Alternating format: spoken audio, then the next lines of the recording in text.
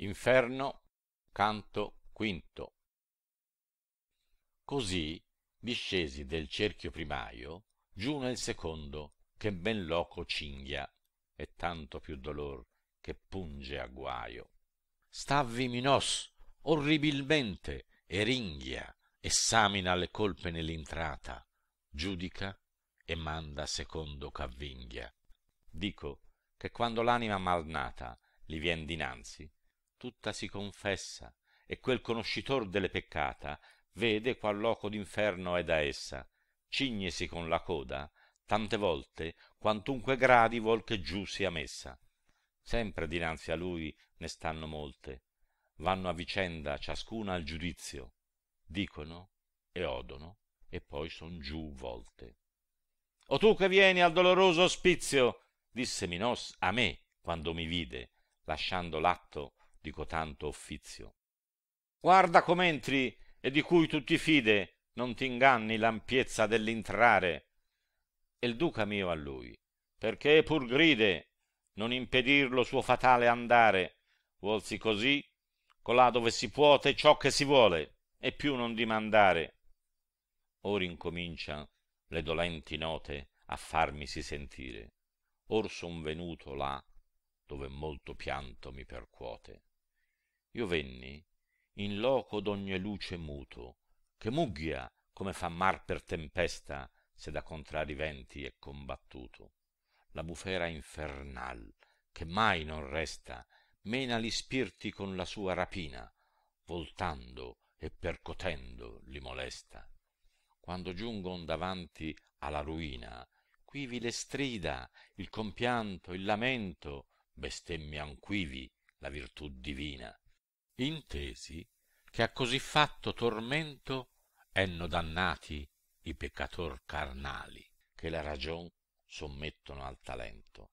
E come li stornei ne portan l'ali nel freddo tempo a schiera larga e piena così quel fiato gli spiriti mali di qua di là di giù di su li mena.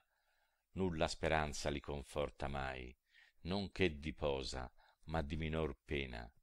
E come i gru van cantando l'orlai faccendo in aere di sé lunga riga così vidio venir traendo guai ombre portate dalla detta briga. Per chi dissi? Maestro chi son quelle genti che l'aura nera si gastiga? La prima di color di cui novelle tu vuoi saper mi disse quelli a lotta fu imperatrice di molte favelle. A vizio di lussuria fu sì rotta che libito fe licito in sua legge per torre il biasmo in che era condotta. E lesse miramis di cui si legge che succedette a nino e fu sua sposa tenne la terra che il soldan corregge. L'altra è colei che s'ancise amorosa e ruppe fede al cener di sicheo. Poi è cleopatras lussuriosa.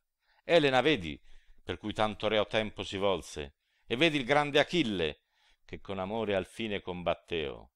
Vedi paris tristano e più di mille ombre mostrommi e nominommi a dito ch'amor di nostra vita dipartille poscia ch'io ebbi il mio dottore udito nomar le donne antiche cavalieri pietà mi giunse e fui quasi smarrito i cominciai. Poeta volontieri parlerei a quei due che insieme vanno e paion sì al vento esser leggeri. Ed elli a me vedrai quando saranno più presso a noi e tu allor li priega per quello amor che mena ed ei verranno.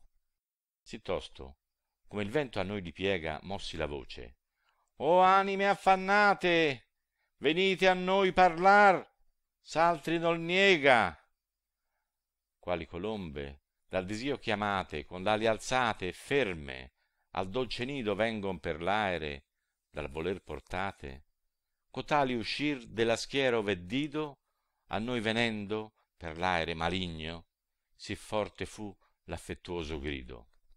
O animal grazioso e benigno che visitando vai per l'aere perso noi che tignemmo il mondo di sanguigno.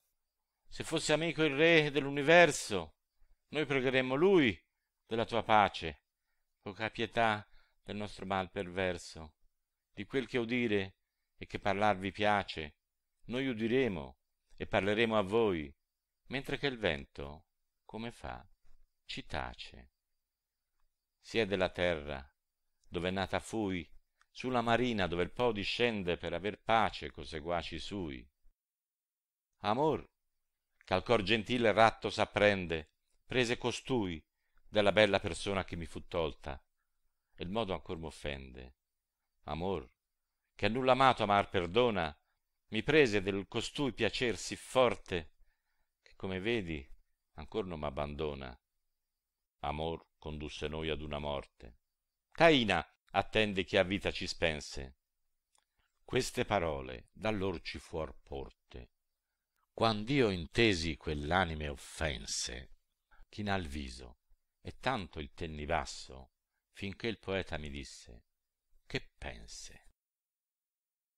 Quando risposi cominciai o lasso quanti dolci pensier quanto disio menò costoro al doloroso passo poi mi rivolsi a loro e parlai io e cominciai. Francesca i tuoi martiri a lagrimar mi fanno tristo e pio. Ma dimmi al tempo di dolci sospiri a che e come concedette amore che conosceste i dubbiosi disiri? E quella a me.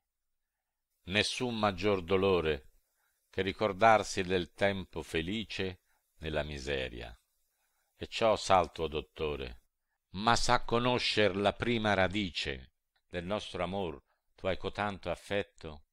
Dirò come colui che piange e dice noi leggiavamo un giorno per diletto di lancialotto come amor lo strinse.